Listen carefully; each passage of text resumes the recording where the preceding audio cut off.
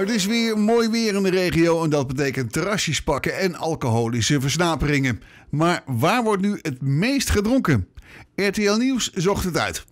6% van de inwoners van de gemeente Heumen drinkt overmatig alcohol. Dat geldt ook voor de inwoners van de gemeente Wiegen. In Bergendal is dat 7%. Nijmegen spant de kroon met 8%.